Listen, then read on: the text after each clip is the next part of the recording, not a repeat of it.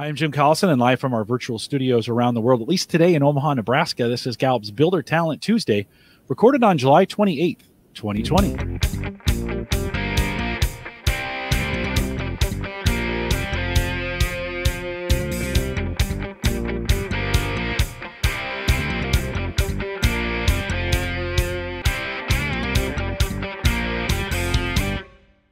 Builder Talent Tuesday is a Gallup webcast series that dives deep into the builder profile talents in the community around it.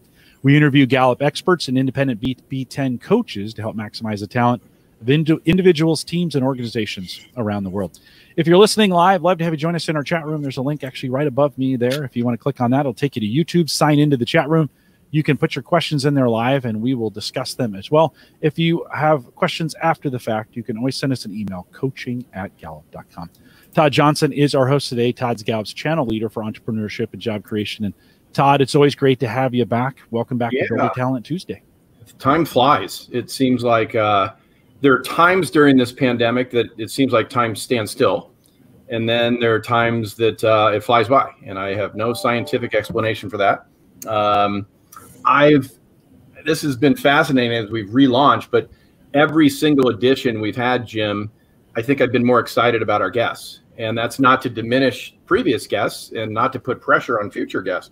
But uh, this is a real exciting one. I'm I'm not going to read Dell's bio. I mean, how many times have we been out giving talks where somebody stands up and reads your bio? I'm not going to do that. I've I've known this gentleman for many many years. Is it ten or more? At least at least that. At it, least. Could, it could even be before I came to the Fed. And I've been at the Fed for ten years this year. We've uh, and we've been really good friends for at least half that time. That's uh, now we've been friends since the beginning and have shared many panels and many podiums around uh, around the state, around the Midwest. Uh, Dell is uh, a senior executive of the Federal Reserve Kansas City branch, based here in Omaha. We're blessed to have him in Omaha. He's an accomplished uh, author on the topic of which we're going to discuss today. He's a proficient uh, speaker and uh, evangelist on the importance of ecosystems and talents. But I thought I'd share a kind of a goofy story. When when I was first coming into my professional career, a mentor once told me, Dell, I don't know if you know this, but a mentor said, never share the stage with someone who's smarter, better looking, and funnier. And as I was reflecting, apparently your mentor never shared that advice. Okay. I'm sorry, that's a joke. We tend to open these up levity, levity, but in all seriousness, I can I can joke with you about that because none of it's true. Uh, I've been amazed at your ability to transform a room uh, with your vision, with your mission, and uh, we're going to kind of. This is your show, but I've got a few questions that I want to just kind of get us going with, and just for the audience, we didn't we didn't share these in advance, so these are not prompted or or these were just reflecting on your expertise. You know, I thought you could first start us off, and it's a term that I actually think is really misunderstood. The when we're talking entrepreneurship, I, I cringe when people say pivot because in my vernacular, pivot is something that squirts the uh, uh, irrigation fields. At least in Nebraska, that's what a pivot is. But another term that's always baffled me because people use it in so many different uh, contexts is ecosystem. Dell, what what is an ecosystem? Um, a short way to think about it, and it, it's just logical. It's it's the context and the networks uh, in which entrepreneurs start and grow businesses. Okay.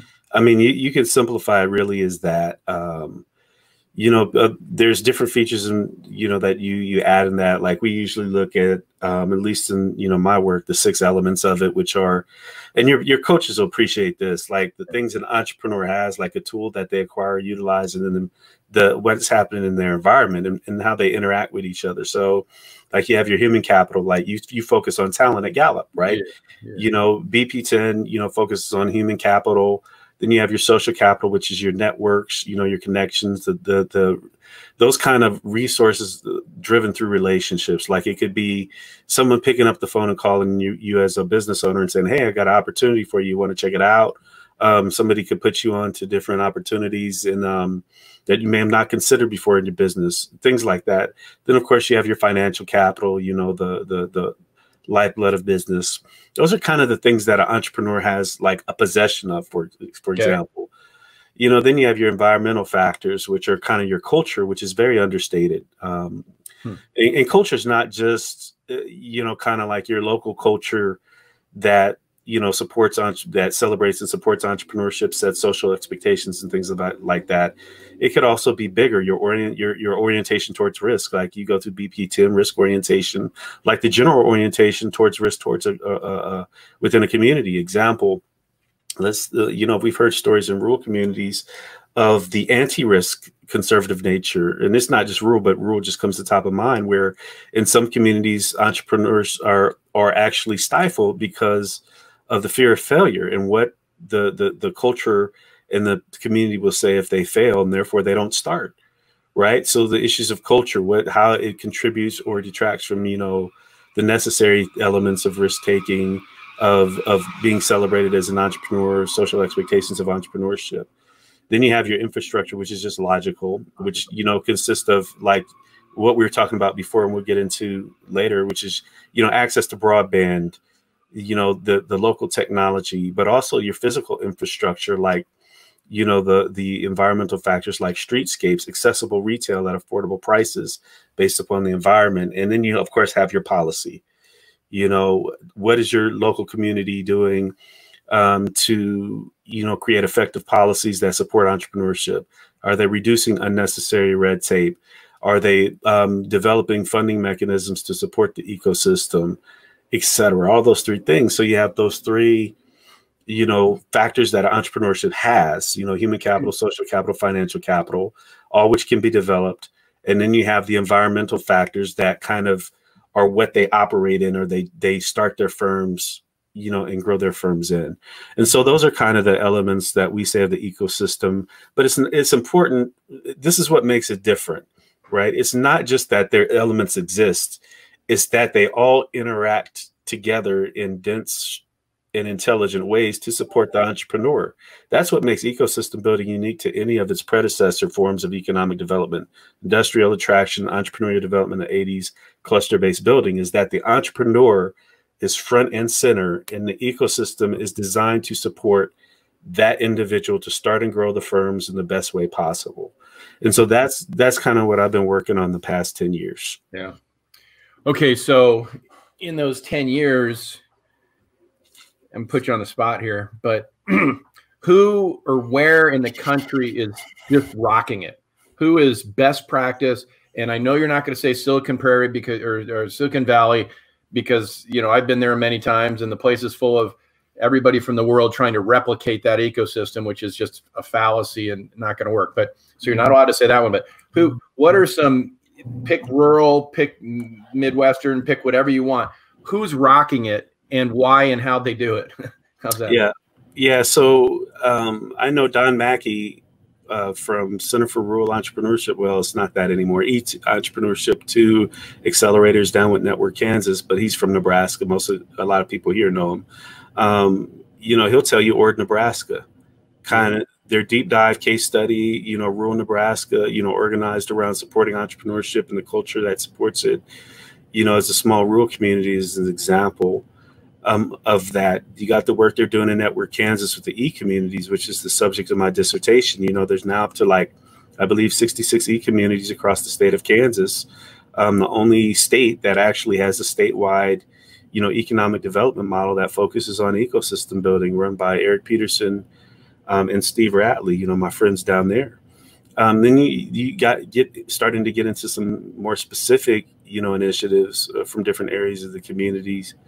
You know, you have, you know, Code Fever Miami, you know, focuses on African uh, American and Latina, Latino, or you know, oriented tech ecosystems and the development of that. So you're starting to see these now. We would be remiss not to point to Silicon Valley, not because it's the standard that we should strive for, but because it is an example of how an organic ecosystem developed and it has its flaws you know a lot of racism sexism out there and and um, now you can't even live there by many accounts for the average person but when you look at it the reason people you know kind of look at silicon valley um, and kind of say this is this is something we strive to be is because they figured out a few things. One, they figured out that you know driving tech bit led innovation and entrepreneurship is well, as well as bring, building an ecosystem around it. So if you, you take those six elements that I I, I put there, right, yep. and you you superimpose that over Silicon Valley, you can kind of see how it works at one of the largest possible scales, where you have very fluid and interactive tr education, training, cultural orientation, infrastructure development, so, you know, social capital, social network, all of these things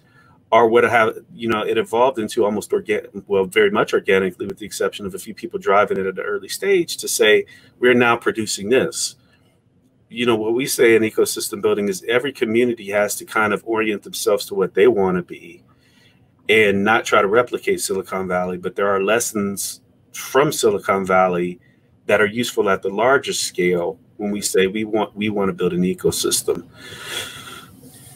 Interesting. Um, yeah, it, it again frustrates me that so many communities try to cookie cutter stamp that exact infrastructure or culture on their community. And you you and I have talked about that over the years. I mean, if you want if you want a lot of racism, then yeah, cookie cutter. Yeah, right. I mean, if you want a lot of sexism, cookie cutter it. But I think we can do better. That's that's leading me into my next question. You think uh, we didn't prepare any of this, but you've seen the data. We shared some of our recent data. We know that the talent to build, you know, knows no zip code and is is beautifully agnostic as it relates to you know gender and diversity and inclusion and all the important topics of the day in your expert opinion why do we have i'll just call it a, a, a problem but we could probably say crisis in you know people of color starting businesses what what's going on out there and how do we fix it you know, Todd, I forgot I forgot to say that these views do not necessarily represent the views of the Federal Reserve Bank of Kansas City nor the Federal Reserve Bank. Whenever we're out giving talks, you start with that. But yeah, yeah. So I, I guess after that, those last couple statements, I probably should have put that out there. Jim first. can cut it and put that up front. Either way, it is it got said. This so Dell Gines et al. So so, but but it's interesting. So I just recently wrote an article on Medium, and I wish I would have you know gotten that early research you and Dr. Badal did earlier on um, because I knew it was in the BP10 where you all kind of showed through the research that you know kind of this talent cuts. I mean, like all the everything that you sent me was within the margin of error. You everything is pretty much equal. Like the talent is universal. Right. And so if the entrepreneurial talent is universal and it's going to break by, I mean, obviously we can quibble on how that's defined and what we're looking at when we say entrepreneur, but using your methodology, it's universal. So black woman, white male, South African, Asian, it's all within the, the margin of error that the talent is going to break across the population fairly consistently, right? Yep. Well, I wrote an article called um, recently, I think a couple weeks ago on Medium that that said how not building an inclusive ecosystem leads to economic inefficiency, and there's a logic to it, right? So, it, you know, and I went back wonky stuff that probably most of your people won't care about. But you know, the Nobel Prize winning economist um, Gary Becker wrote way back in the 1950s and 60s about the taste for discrimination.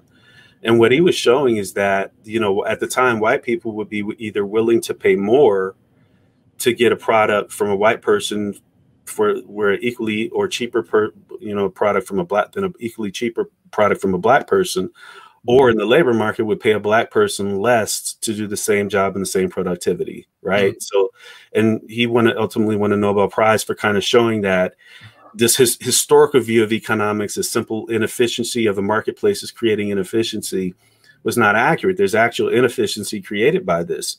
So when you look at an ecosystem that's not inclusive meaning that we're not really doing our best possible to get the resources to entrepreneurs based upon their talent level and not any other associated characteristics like race, gender, etc., you create inefficiency. Well, why is that? Because ultimately, what ends up happening is you end up allocating more resources to get the same results if you're just let, us take let, let's say discrimination with with um you know whites versus blacks okay.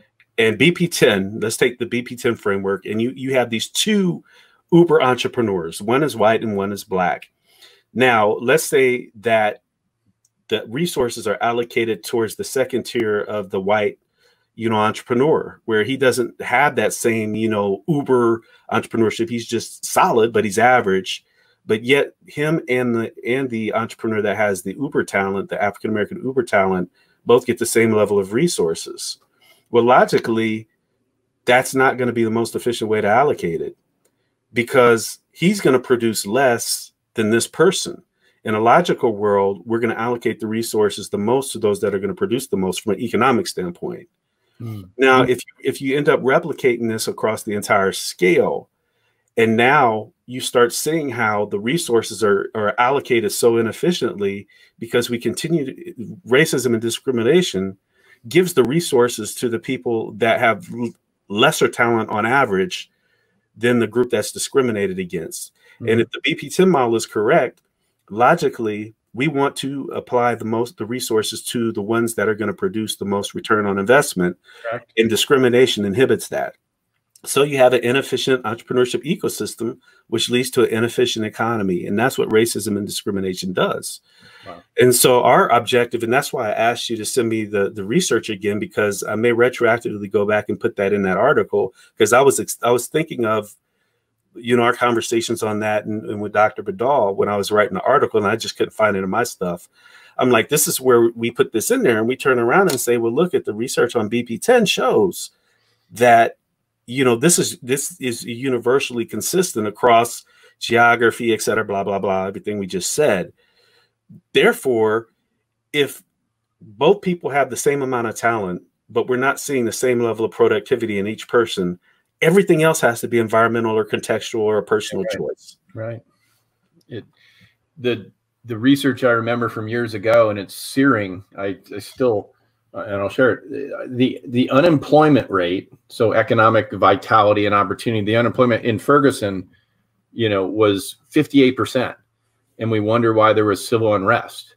You know, you look around our volatile, fragile communities, and you know, some think putting in a Walmart fixes everything. But in fact, that might wipe out uh, nothing against Walmart. And I guess I'll do my Gallup disclaimer too, because I think they're a big client of ours. But um, that's not economic development in a sustainable uh, in a sustainable way. Well, let's take take your same concept and apply it at scale. You know, outside of the civil, you know, the civil, you know, social injustices that we're seeing that are prompting the riots. You know, I made a point you know, and I think maybe when we were just chatting the other day, I said, you know, look at Occupy Wall Street. Like what you're seeing now is not just a, just you know issues of social justice where we're seeing these American riots. Because I know you got a, a, global audience. Actually, it's a global, you're global protest. It, you know, there's a combination of of economic factors going back to Occupy Wall Street, combined with the social factors of you know state violence on African Americans that are driving fueling a lot of these protests. And you're you're exactly right. We've seen this progressive failure of our economy to adequately address the concerns of the most vulnerable populations, which is increasing. Like the wealth gap is increasing. And even though prior to COVID, we saw a significant decline in the unemployment rate, a lot of those weren't living wage jobs. People were working multiple jobs. Like, and, and this creates the fuel for social unrest because when you have a strong economy that's working really relatively effectively for the most people that it possibly can, there's usually little incentive outside of you know pure social justice issues for people to to to to, to riot. Mm-hmm. And this is this is why we treat we America to to our positives or negatives, whichever way you want to classify, try to export democracy and capitalism as a way, in a lot of countries, as a way to mobilize, uh, uh, early stage mitigate social unrest in some of these yeah. communities that we were engaging. Didn't work. I read today, some are saying now the recovery is going to be a K. I don't know if you've heard or seen that. You know, we hear a lot about the V or the U or the swoosh or the hockey stick, or I've heard it's K where the wealthiest privilege are are ex, you know exponentially benefiting and then those of in many cases of, of color and of you know economic challenge are going to hit the deck faster harder so that becomes the k i think that's something we have to figure out because uh, we again and this is totally my opinion we have a broken form of capitalism yep our, our, our, form of capitalism is is broken. It's not driven by broad-based innovation and entrepreneurship it's, is driven by, you know, corporate consolidation and control. And when you have corporate consolidation and control, the winners are those that have shares in those corporations. Yep. And the losers are those that that either for lack of knowledge or lack of opportunity have access into uh, owning and controlling those shares. So it's just logic. So if uh, let's use the banking system as an example. Mm-hmm. You know, when we I, I, use black banks because that's the number that's relatively on top of my mind. There are 180 black banks coming out of um, 50 years after the emancipation. There's now 21, maybe less, right? And I'm using them as an example of this hyper consolidation in the banking industry. So you've had this massive consolidation in the banking industry to where maybe I think it's five to 10 banks yeah. own like 90% of all you know the banking assets in the space something like that yep. now so you've basically created you know this hyper you know concentration of banking so as that industry grows and they control that in a large chunk of that system the winners become the shareholders. Mm-hmm. and so then you start looking at okay well then how does how does wealth break down? Who is owning these things? And by and large it's not you know historically low income whites that have you know immobility over their multi-generational financial immobility. It's usually not your latinos your blacks your natives etc and so as this industry consolidates and continues to grow to scale and almost becomes remember from the great recession too big to fail yep. the winners of that are those that by and large have large percentages of control in that stock and the losers are those that don't have access to that same stock. So now you have this huge in, increasing wealth gap. I mean, and I'm not faulting Jeff, Jeff Bezos. Like his, because uh, I probably added a billion dollars worth of his net worth during COVID too, through all the shopping my wife has done at Amazon. Yeah, right. during the period, so he has a valuable product. But that's kind of the way that, if we want to look at how that works, you have those that are consumers and those that own the results of the consumption are the ones that create and, get more wealth. Well, how do you fix that, Todd? More entrepreneurship. Yeah, I've argued for the longest, you know, because what what you've had is this rise in this pursuit of socialism, and I've argued that one that's a non-start in, in for the broader U.S. economy at scale. It's not that we can't centralize nationally certain industries that make sense or certain functions that make sense. That's always wor- worth a conversation. Like our police department is centralized in our cities, our fire departments by and large but let's let's put those unique exceptions to the side. I've argued that the best way to decentralize wealth is to increase entrepreneurship for everyone. So even if we kept this, if we, we had the same amount of corporate wealth holdings that we have today, and kept that the same, but we were able to adequately create inclusive ecosystems where communities of all different types and individuals of all different types were able to own, create and own the productions of their own hands through the wealth creation process of entrepreneurship, you decentralize you know the wealth consolidation and you empower communities to be more democratic and do the things that they yeah. want and thus comes stability and thus ultimately democracy and and well-being all those linked together i've i've heard not necessarily on the race topic but one of the challenges to entrepreneurship in this country over the last 10 years is the big five you know eBay, Facebook, Amazon, Microsoft, you know, the big five are buying up all the entrepreneurial technologies. Yeah. A, they have the money, and B, because they don't want something to come up and compete. And so they're actually, you know, the maybe the exit or the founders who are getting wealthy in that process are excited, but it's not really good for the overall ecosystem to lose consolidation of the small entrepreneurial, you know, energy. Yeah, so the, and there's, there's, research that that shows that Todd. So, um, so we we do something at the Fed called Jackson Hole, and this is where our bank president, one of the best leaders I've ever had, Esther George, one of the 12 central bank, you know, Federal Reserve leaders in our system, she invites central bankers from all across the world um, and I think this is to Jackson Hole in, in I believe, Montana, uh, once a year, and they discuss major monetary policy issues. Right, Wyoming. I'm sorry, sorry, Montana. You're talking about Montana earlier. parents out there, man. That's my country. So yeah, Wyoming, Jackson Hole, Wyoming. So one of the things that they they came out of in this, all these thought leaders of national monetary policy, global business dynamism, dynamism and the, which is the the net rate that that um, entrepreneurs start and grow firms. So, so positive. We want to see a surplus. We want to see growth in that. but it's on the decline has been one of the major challenges in the global economy, right? Now, a lot of the research shows why. Because as you grow bigger firms to scale, it what happens is exactly what you said. So now a Microsoft or a Google, etc., they are actually buying companies to destroy that company because they don't want it to be, right. you know, a, a competitor like you said, or it stifles innovation through or absorbs the innovation all within one major firm versus decentralizing the, the, the, wealth production. So when I say the problem with that we face is not a problem with capitalism, as some would suggest, especially those that are more, you know, coming from a, from a more centralized e economic lens like socialism or something similar, mm. it's to me, it's not fundamentally a problem with capitalism, it's a problem with broken capitalism. Mm. Yeah. Because if our capitalism is not entrepreneurial, then it actually creates the consolidation and the wealth gap that everybody's complaining about. And that's what we've seen uh, in large part since the 1970s through what was known as shareholder primacy, mm-hmm. which means that, you know, the first thing I was taught, Todd, when I in my MBA, first MBA finance class, when our professor asked us what, why corporations exist, everybody was giving their answers because we didn't know anything. And He said, No, you're all wrong. Corporations exist to maximize shareholder value. This is called shareholder primacy coming out of the 70s. Now, I want you to look at a few things, and it's not all related to this.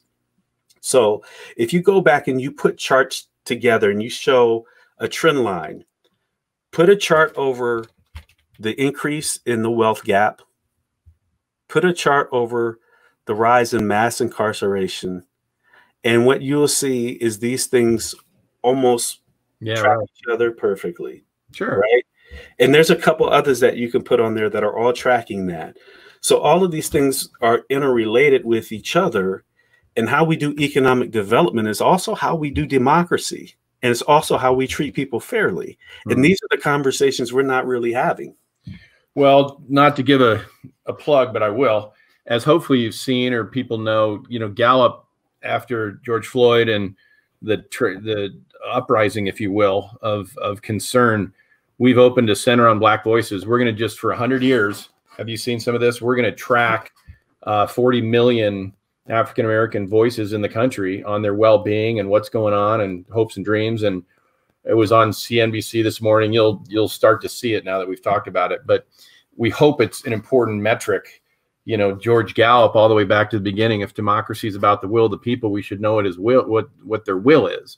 Well, we've never really done a serious job about tracking the black voices and their will, and so that was launched. I want to say a week or two ago, but it's going to be a big deal. Um, you'll start seeing important data. So taking a, a slight departure, I wouldn't say pivot. Um, what how are things going in North Omaha, which is for those viewers that don't know, one of our fragile communities? You know, what what do entrepreneurs need? How do they find customers? I'm going to hammer questions at you. What's the role of corporate uh, of the corporate community, if if there is one? And um, overall, how's it going? Yeah, it's so you know, like like many you know urban black communities, the challenges are remarkably consistent because you know I go all across the nation and, and chat, urban, rural, whatever. In an urban environment, you know, you you you trend to see, and this is universal. It just it's it's like Malcolm X said, you know, uh, what does it say when when white people sneeze, black people catch a cold. Hmm. Essentially, what Malcolm was saying was that the challenges that face the average, you know, white American become exacerbated in many cases when faced with vulnerable population. We can use black, Latino, whatever, right? Mm-hmm. Yeah. So so the, the the deficit, like we just talked about, just to bring it back and connected the dots. So when we talk about an economic development challenge as a challenge with both democracy and e- equality, right? That's why economic development is so important. Yeah. Because because that's how you dist- cities come together and states come together to decide how resources are going to be allocated to create productivity and who's going to get the benefit thereof. So when we talk about that at, at, at the nation and this hyper consolidation of corporations and the Im- impact that that has, now start breaking that down at, at the smaller level, to the state and the city level, and then start breaking it down by targeted people groups, right? So when I say that there's a problem because we haven't focused on ecosystem building and creating a more, more egalitarian society through entrepreneurship, we can superimpose that over my community in North Omaha, which then is it's even exacerbated. So if there's a challenge with ecosystem building and effectively supporting entrepreneurs in the average white community, yeah, right. it's going to be exacerbated. Now, immigrants are unique because they do trend towards starting entrepreneurship at a higher rate. But when we talk about the diverse spectrum of, of entrepreneurship, which we, we would classify as kind of let's go through all the NAICS codes from you know service-based businesses to tech-oriented businesses from um, solopreneurs and gig economy workers to high growth gazelle unicorn businesses. If BP10 is correct, so I'm gonna put a lot of pressure on you. You already know if, it. If BP10 is, is correct, then we should be seeing the same amount of gazelles and unicorns and in large scales and Main Street, etc., in North Omaha, coming out of North Omaha, not necessarily serving North Omaha, but coming out of North Omaha, as we would see in a Silicon Valley. Yep. Right. In, in theory, in, in a perfect world, utopia, entrepreneurial utopia, right? But when we start seeing the dimensions break down, and we we start seeing the lack of ecosystem development and the lack of resources applied to that relationships connectivity and then you layer over discrimination then we know that the, the, the biggest challenge that we have to face is how do we create an entrepreneurial culture that drives wealth in our majority black communities and our majority communities of color so then we look at North Omaha and so yes, you know, well, what do uh, North, North Omaha entrepreneurs need? We need a broad, robust entrepreneurial ecosystem that supports the human, social, and financial capital, creates a better culture of entrepreneurship, has stronger infrastructure, and better policy. Hmm. Some of some of that will overlap with other needs with across the city for entrepreneurs and the state, and some of it will be have to be designed specifically for the unique needs of the North or South Omaha customer. Yeah. And and the, these are why things like I think BP10 are so useful because it what it does is at least gives you a beginning benchmark of how to get people to think about their talent that they have for entrepreneurship versus just being abstract and we can say, okay, you're strong here, but maybe you need support here, or you're you're a potential really superstar. How do we support that? And right now, that's not in the system by and large. And needs to be. In the last show, we had Sangeeta on talking about the power of team. Mm-hmm. And you know, it's one thing to understand thyself, but how powerful is it to understand who you need around you? You know, who's going to round you off or or you know focus you because it's not natural to who you are.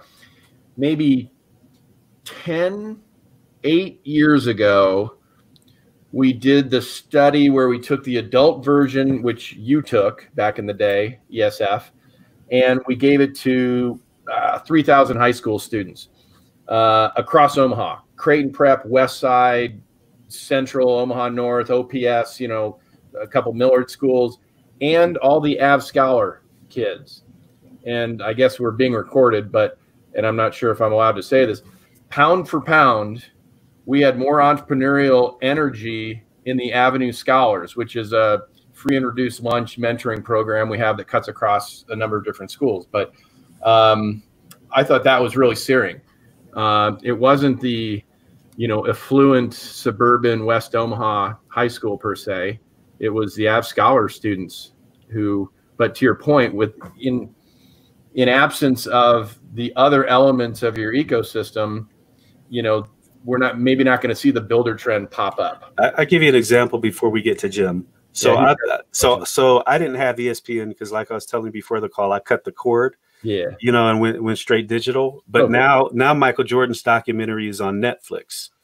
So yeah. the documentary everybody was talking about about their final championship year, and so we would classify Michael Jordan as probably the uber entrepreneur like not as an entrepreneur i'm using him as a, his skill as a metaphor like yeah. if we took jordan made and he was an entrepreneur on bp10 he'd be the one with uh, everything whatever the high yeah. color is and what you got right? it yep. now now when you look at his life and they do a little bit about his life what would would michael jordan be as as great as he was in in basketball if he didn't have access to courts coaching a basketball motivated family that was you know pushing them to, to, to be competitive and fight so you look at the context like talent alone is not enough yep you know, you need all the things that go around it. And Michael Jordan is a great metaphor for that because you take him away from Dean Smith at North Carolina. You take away his brother that used to bully him on the basketball court and be competitive. You take away his even has ability to go and play the sport in and of itself. Yep. And and now you begin to see when you use that as a metaphor why so many communities of color are not producing the same level of entrepreneurial output. We don't have the courts, we don't right. have the coaches, we don't have the bully brothers, all of these different things. And these are the things that we need to wrap around our entrepreneurs. I love that analogy. And as you know, a lot of people are talking about it, which is maybe where it starts, but but a whole lot of us are pushing to see if I think there's a very big proposal under development for the ecosystem of North Omaha. And um, others on this call are working on their you know community initiatives. So great analogy. Jim do you have a question for yeah i have a couple. Let's while we're talking about northo let's go to that uh, jeff asks how many of those businesses in north omaha have taken bp10 and are they getting coaching around talents? This kind of speaks to the question todd or dell do we do we have any idea on numbers there? I think todd has done a lot of work around that todd. We've had different events. Uh, your point about the assessment versus the coaching, there hasn't been enough. Mm. Just point blank. Um, you know, we all know that the assessment without the coaching is uh, kind of goes nowhere. Um, in Nebraska, we say just because you weigh a cow doesn't make it fatter. and taking an assessment without somebody to coach you through and develop it, it's uh, not where it should be, Jeff. But at least we know that. Maybe that's part of the problem. Yeah, I think this this we haven't talked about this, but J- uh, Justin says how important you feel environmental sustainability is or will become as a factor in delivering successful entrepreneurship. I, I, well, I think it's de- definitely interrelated. Like you you can't, and and this is where the beauty of entrepreneurship is is we need to apply our entrepreneurs to the concept of environmental sustainability. But again, there's a lot of collusion and and um, marketplace steering in that space as well. I, I think when you look at it, like I'm just going to look at it from my daughter's environmental justice, you know, major. When you look at it and you look at how the issues of environments and sustainability, negative wise, disproportionately affects black and brown people and low income people building like i've heard terrible stories of, of communities built on landfills under power lines um, there's broader based work in that space. I, I think what you're going to see, and this is me putting on my Gallup futuristic strengths hat, you know, as a top two strength. I think you're going to start seeing more of a convergence between these things where people are going to start looking at how the dots connect versus separate. And you're going to see how entrepreneurship in the ecosystem is connected to the environmental environmentalism and sustainability of that particular community and the social justice side of how these things work and a lot of other factors. Because america as we've evolved as an economy we became a specialized economy which led to productivity. And as a result you had a lot of pieces that didn't see the whole.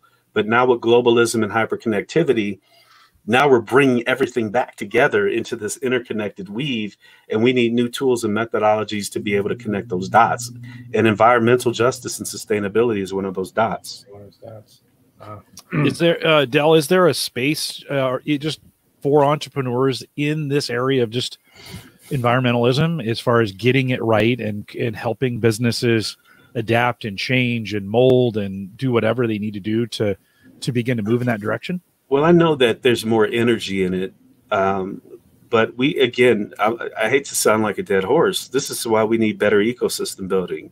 So if you if you look at ecosystem building as the hardware and the particular expressions of that as the software your software is only going to function as like if try try running windows 10 on a computer with only two gigs of ram. Yeah. Like we would it, this one hour webinar would take three hours of us trying to get through it because the failures of technology. Right. like and so we we as a community need to do a better job of developing this orientation towards how do we build an ecosystem around these entrepreneurs and the things that they're dealing with in their everyday lives. And if we can do that, then we can. There's definitely going to be a space where we can pull together better, you know, environmental oriented entrepreneurs because that is a thing. People are talking about it now. They think about it now. They're trying to apply it in their workforce. I know. Um, I was talking to my friend Rob Treblecock from um, Bank of the West. One of their big big initiatives is green energy, primarily out west. Um, so so even big industries are thinking about this. So we just need to figure out how to get our entrepreneurs to tackle it because when entrepreneurs tackle something it creates a win-win solution most often because they're solving the problem while generating economic productivity which creates a win-win for everybody. Todd do you want to add anything to that? No i how can i add to that? I could only ruin that. Um, Dell, do you think um, has COVID the COVID nineteen changed anything for the better or for the worse when we think about the entre- entrepreneurial space? Well, I think it's done a few things. Now, whether it's it's going to last remains to be seen. One, unlike uh, the prior recessions, is it's recentered. Uh, it's recentered the, the necessity of small business owners. Like if you remember early on, most of the conversation outside of the public, obviously public health side, was around the impact that the, the, the, pandemic is having on small business owners. This was not the case in the, the Great Recession coming out of 2008. Nope. Um, small business owners have been front and center. It's forced many communities to look at how they support these businesses and, and the infrastructure that supports them. And hopefully that that is something that will continue after that. The secondaries, I think that has forced a lot of businesses to look internally and look at how their infrastructure is is is developed like you know a lot of people weren't getting couldn't get a ppp loan because they couldn't pull their stuff together. They didn't have their infrastructure in place. Black and brown businesses other businesses as well. So uh, a lot of people couldn't the word todd doesn't like pivot because they didn't have they weren't tech enabled or have the tech and basic tech. I'm not i'm not talking about being a coder or producing a new tech firm. Oh and you're talking about I'm yeah. talking about simply le- learning how to use Uber Eats as a restaurant, you know, like things like this like and i think that's put a shock to the system of the, the nation and a lot of entrepreneurs to start orienting themselves to the entrepreneurship of the future. The question is is are we as the folks that support that field are we we doing the things necessary to make sure that they have a smooth runway into this new orientation? Or are we going to allow kind of this gravity to kind of pull back or put a lot of roadblocks in front of it like often happens when a recovery happens and no, you know, everybody says, okay, let's just get back to business as usual. During the pre-show, you and I talked a little bit about infrastructure. Yeah. And the necessity of it. And of course, we have seen the the infrastructure, the internet infrastructure be stress tested during this time. How important is it? There's been a lot of activism, and I think there's been some some fairly positive activism by the white community to to to you know to see some of these things move forward how important would it be for that community to focus on putting pressure, downward pressure on some of our infrastructure organizations to behind the scenes improve the infrastructure? Stuff we don't typically think of, but maybe provide better internet, so to speak, in some yeah. of these communities. Yeah, and that's fundamental. So, like 75% of all the work I did the first five years I was at the Fed was in rural communities. And so, you know, when you look at the development and the infrastructure, of broadband and the ability to have that, it's it's of paramount importance both in urban and rural.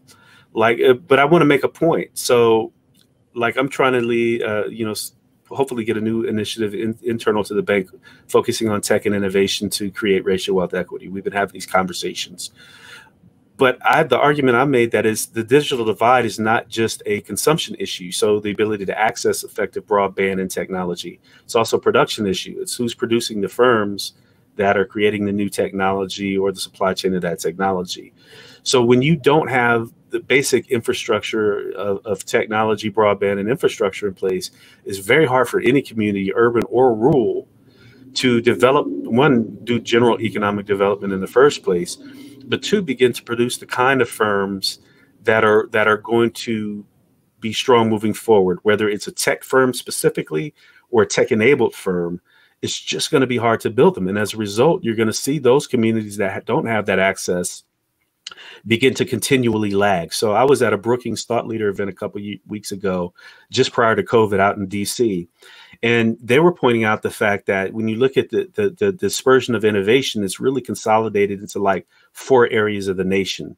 Um, and like these major areas, like you may suspect, high density population areas, high technology, high levels of innovation, and the rest of the the rest of the nation was lagging behind in terms of economic productivity. So they their whole big thing and what we were talking about was how do you create more innovation hubs across the region, across the nation, so that we can have more balanced economic growth? We'll take the same concept and apply it to, let's say, Nebraska, where you have some some rural communities that have, have really strong broadband, but those that don't, you're going to continue to lose your youth. You're going to continue to have challenges of development. You're going to con- continue to struggle to figure out ways that you can organize your economy so that you can continue to grow and hopefully retain and attract new people. The same is for your urban area. We, to me, and this is just my again my personal opinion. If I was going to centralize one aspect that the government was going to tackle and say this is going to be centralized, it would be universal broadband for everybody mm-hmm. as as as a as a state right you know and i don't and i don't necessarily like to use the term right i think we use that too arbitrarily but as a state mandate as a long run guide to having a healthy nebraska or whatever state that you're in would be universal access to a minimum level of broadband so every student and every adult could be on the information highway and if we do this then we can expect a, a, corresponding return in economic productivity on the long run because you can't leave people out of the digital age and expect your economy to remain strong and equal. Yep. A whole bunch of our CARES money, as we'd also talked about, was for broadband development. And we've been talking about it for years in Nebraska, but I was on with one of the leaders at UNL saying, well, it's, you know, everybody's going to go home and Zoom the rest of their education. Or and it's like no they're not because their only access was the starbucks and it's closed. Mm-hmm. and you know it's a, uh, maybe a shame on me for assuming that living in a highly intensive broadband you know digital environment but doesn't exist out there.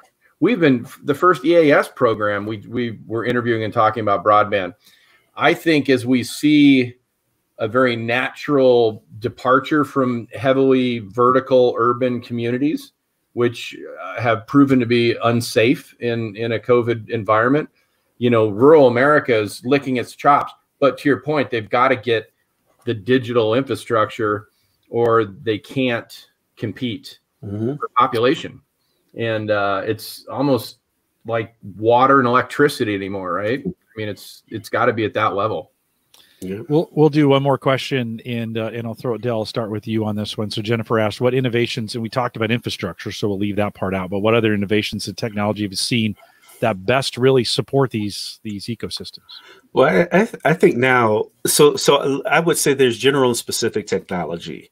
Like we've seen a few emergent technologies to actually support what we call formal ecosystem building um, uh, David Ponraj, I, I, can't remember the name of his his application, developed a really cool app um, that basically allows an entrepreneur to or or a institution like a university to stand up, you know, their application and it identifies all the resources within within that given ecosystem for this entre- for the entrepreneur.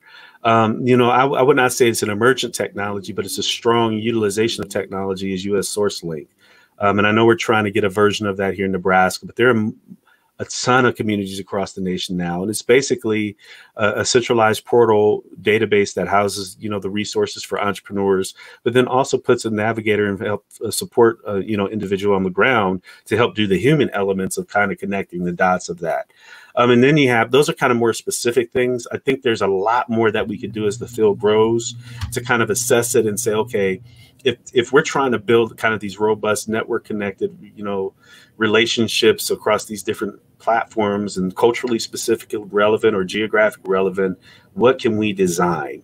Um, i think we're going to continue to see more of that that coming out. But then your general i mean just the stuff we're using now like the the acceleration of the use of of, of sites like StreamYard, which we're on now, of Zoom, of all these things that that are allowing people one both the, the technological platform but you two the comfortability with connecting you know virtually and digitally on a repeated fashion like are going to be huge for ecosystem building because you're dealing with a broad range of stakeholders across local geography state geography and being able to build bring them together.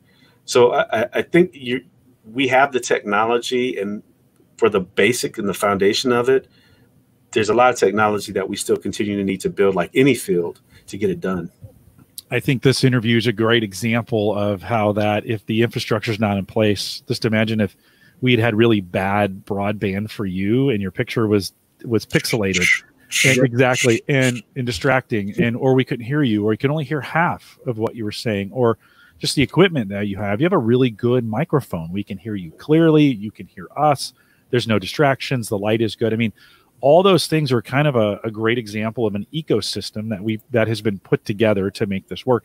We have viewers from around the world viewing this on their broadband connections as well and are able to get the, we the, they're not seeing it any i mean they're not seeing the technology anymore they're just getting the information mm-hmm. and i think that's just a perfect example of when the ecosystem when the infrastructure starts to break down that way we're hampered justin was saying in the chat room you know in the early days and my very first day of coming home uh, my i got locked out and i couldn't get my like my password wasn't working and i couldn't get on anything and like i spent six hours between here and had to go in and get it fixed hmm. lost productivity right on basic services as like getting signed in and so i think this is a great example of had we not had that infrastructure not been in place we couldn't do this. 10 years ago we couldn't have done this. We can do it today. Right. so todd anything else? Anything no, finally two members plugging their computer into the thing at the payphone in the airport. Remember? Oh yeah. I mean I, I sure can. Dell's probably too young to remember that but jim and i do.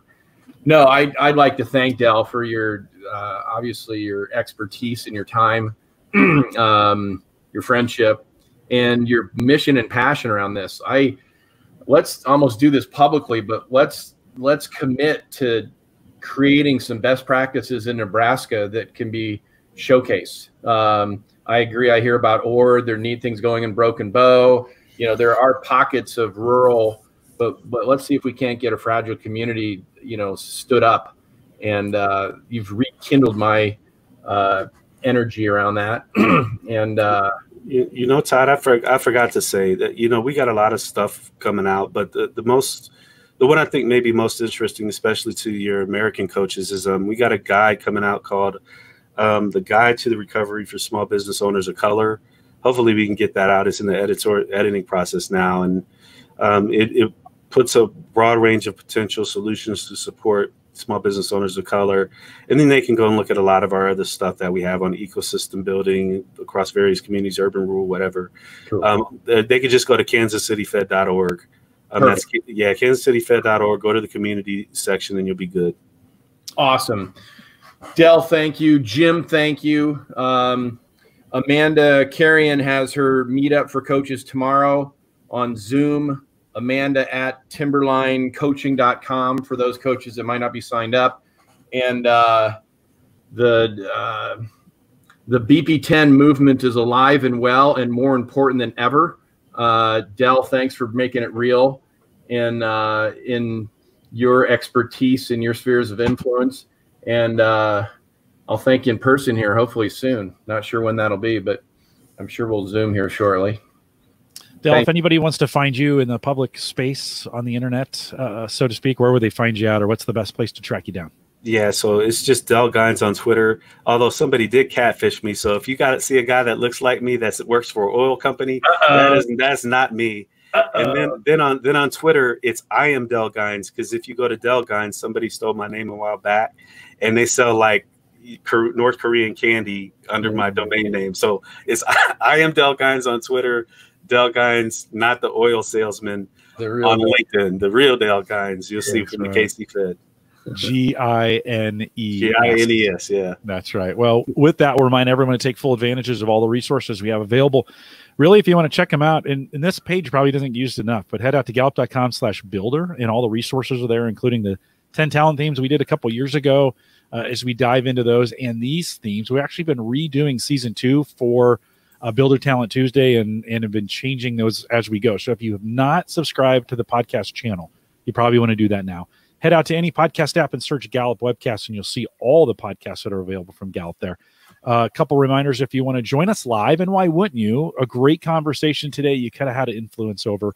Uh, join us on the our Eventbrite page. Go to gallup.eventbrite.com uh, sign up and follow and uh, follow us there. You'll get a notification whenever we go live. If you are, if you have any questions and you're listening to the recorded version, and Todd, tens of thousands, maybe even a hundred thousand, will listen to this interview. So, and you have an email, you have a question, send us an email, coaching at gallup.com. And then, of course, join us in our Facebook group. That's just facebook.com slash group slash Gallup BP10. That is the special BP10 group that is out there. We'd love to have you involved in that as well. If you enjoyed this today, if you found it helpful, share it. Uh, the link, you can grab the YouTube video for it now. share that with others. We'd like to have you do that as well. Thanks for coming out today. With that, we'll say goodbye, everybody.